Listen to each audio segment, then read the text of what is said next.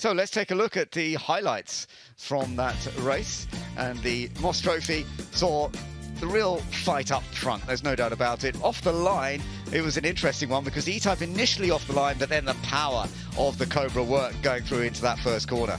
And the real story up the very front was the little blue and silver Lotus Elite had no chance, didn't have the horsepower, and Andrew Kirkcaldy drove beautifully, but fell down the order. But uh, again, you can see a green and yellow Lotus Elite there. That's Kyle Tilley just being absolutely monstered by the Austin Healey down into Woodcote. But up front, it was all about Cobra versus E-Type, and it was super, super close. And it was lovely to see the respect they have for each other. They raced hard. They both pushed very hard at various times. This is when we saw John Spears going a little wide, just uh, got it a bit wrong. That cost him a couple of places, but he was able to fight his way back past these two E-types as the race continued.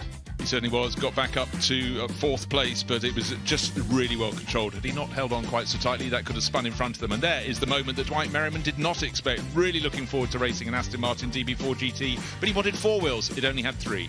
Yeah, and I hadn't realised the leaders weren't far behind. I don't think we saw it in shot.